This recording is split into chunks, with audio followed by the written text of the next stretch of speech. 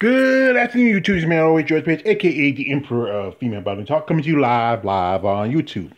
Well, folks, this is one of my comparisons. I hope y'all enjoy your Labor Day. You know, I know, you know, it's just that one last holiday before the end of summer, and uh, I'm about to go out and about in about an hour so. I'm going to a little family thing, a little family get together. But anyway, this is uh, one of my comparisons, and it's back into the edition of flex and sex appeal. Yeah. As I said again, I always try to recognize the amazing women sport of bodybuilder, their beauty, their style, their grace. I just keep saying this. I'm, people don't understand that women are women, and women are beautiful. You know, they may not be the beauty that you like particularly, but they're the beauty that somebody do, do like. So anyway, I picked two ladies who've been competing for quite some time. One is a legend. One is a, a multiple time champion. She is uh, just of these women from. She's from the um, the country of Venezuela, a, La, a Latina uh, legend, and she's also the first Miss Olympia to be a mom.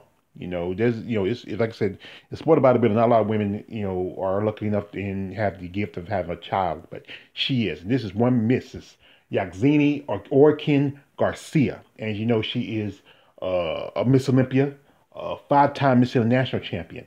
She is a legend. She's one, I would say, one of the most, during her career, the most consistent competitor next to um, the great Miss um, Mary Ellen Warman, you know, who has been competing since the good part of the 80s and up to the, the, the to the 2000s. And right here we have a lady I've done a video before, one Miss Margita Zamolova. As you know, Margita, she is from the Czech Republic, and she's been competing for a good a good while. And you know, Margita, she is like just like um you know, um, a multiple time Olympic competitor. Uh, the first two times as physique competitor, but last two times as a bodybuilder. And, and we all know that with Yaxeni, you know, she has been on stage with legends like Iris Kyle, Linda Murray, you know, Lora Creavalle. You know, she even shared the stage with the current champion, Andrea Shaw. As you know, back in 2020, uh, female bodybuilding had made a return to the Olympia after being kicked out for after like six years. And you know, back in last time that Yaxeni competed was at 2018 uh, Rising Phoenix. So she made a return in 2020 to bodybuilding after taking a year off.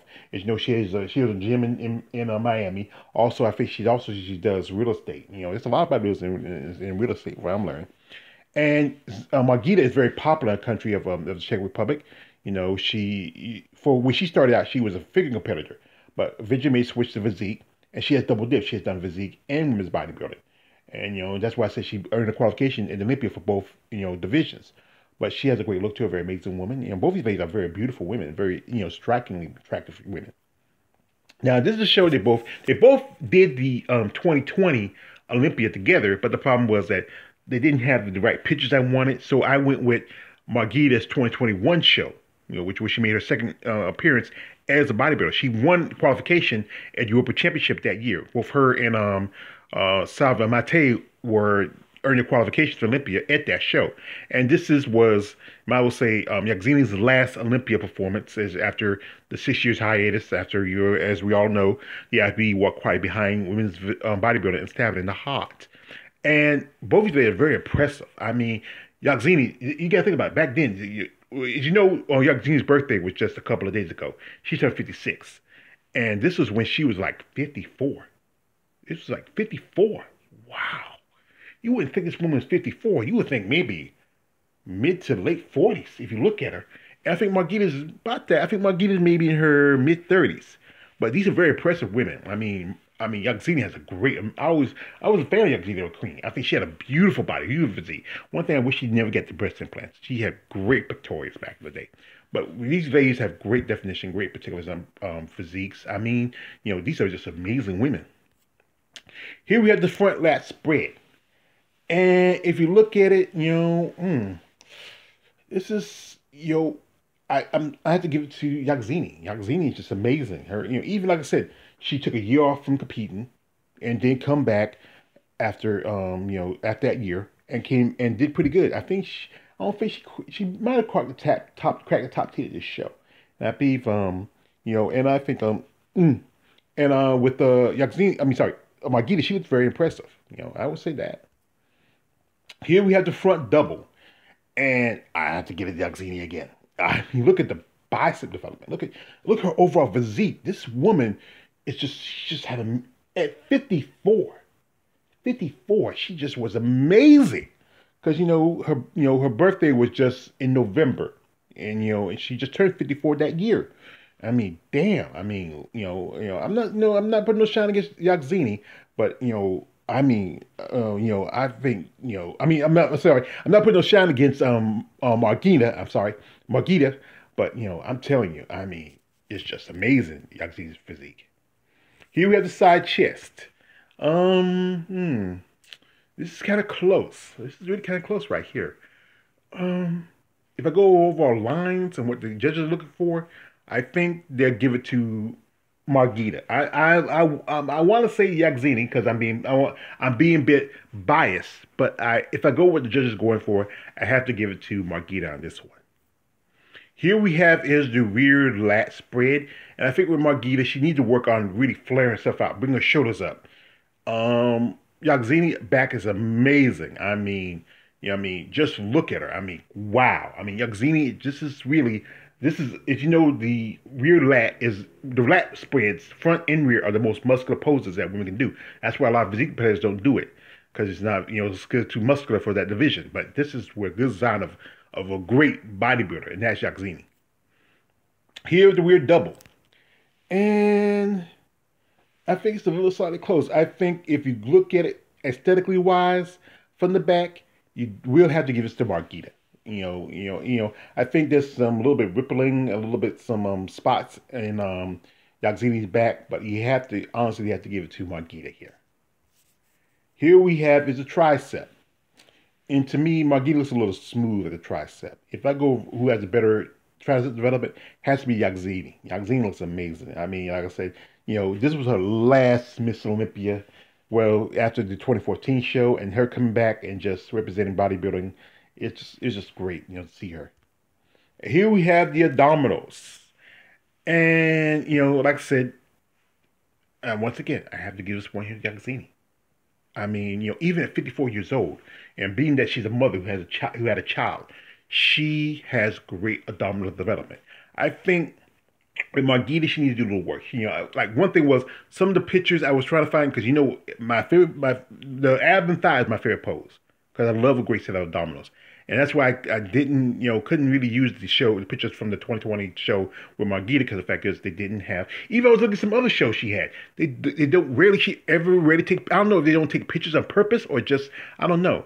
It's really I could really find the pictures of her ab and thigh, but this one was the uh, probably her best looking ab and thigh. But compared to Yoxini, she just you know Yoxini just is, the is the best.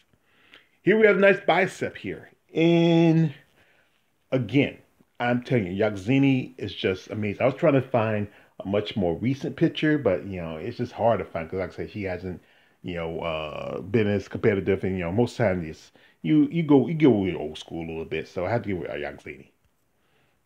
Here we have from the back the glutes, and if I said overall better set of glutes, I have to give it to Margita. I mean, you know, I mean, you know, Yoxini's pretty impressive, but um, definition wise, the striations you, you see you know, you have to give it to Margita out the gate.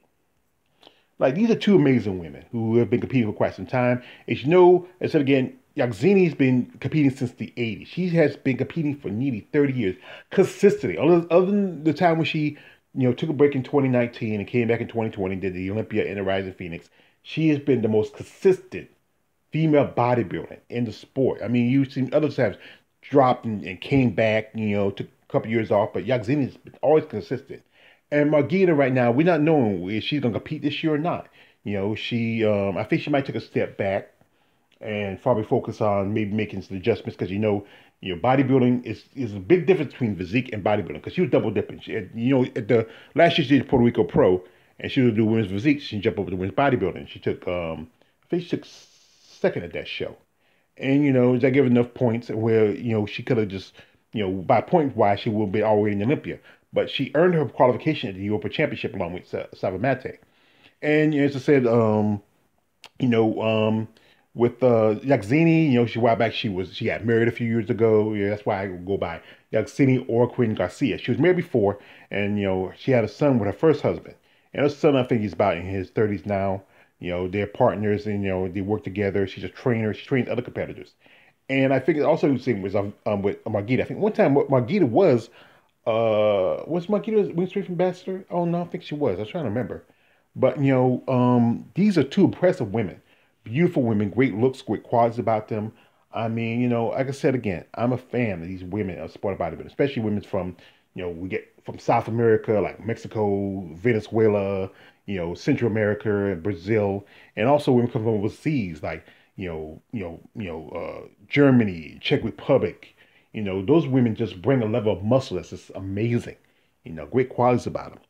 But uh, like I said, um, I one time reached out to Yaxina Ken about would she have ever like maybe promote her own show. She said, nah, nah, she wouldn't want to do that. But we can use, you know, we use more women like her, like people like Linda Murray and um, some other like Linda and um, Alina Popa, who can really step up for women's bodybuilding. And being that she's a legend, you know, some people felt like she should have been like one of a few more um, Miss Olympias than uh, you know. But hey, you know, it is, you know, the judges they they have a lot of control when it comes down to the competitors and whatever else.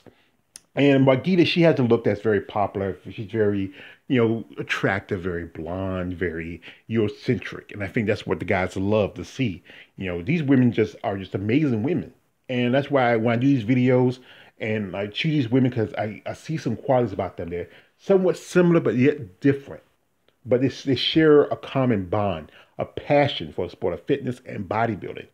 And you know that passion and commitment is one thing that keeps this sport going. You know, people may not understand what these people do; they understand the sacrifices they make. But that's the thing is, if you're not able to make those sacrifices or stand up, then there's no point even you know, you know, just you know, just even don't put in your mind. You know, but much respect to these both ladies. They're both beautiful museum women, beautiful physiques, great, um, you know, athletes, and I respect these women. I love to do an interview with Margita. I think her English is not that good, but I know most definitely. Um, I know a dear friend of mine who's a friend of with uh, Yaxina King, and maybe she can maybe hook me up. Maybe we can do an interview with her sometime in the future, especially the first Miss Olympia mom champ. And um, you know, I'd be love to have her on my channel. But you know what? This is why I do this stuff. I really want to give attention to these beautiful women in the sport of bodybuilding. They're not just beautiful physiques, but they're beautiful personalities and they're beautiful um, spirits. You know, it's it's tough. It's a tough sport for a woman to be in, and they still maintain their femininity and who they are as women, as athletes, as moms, and just overall, just amazing people.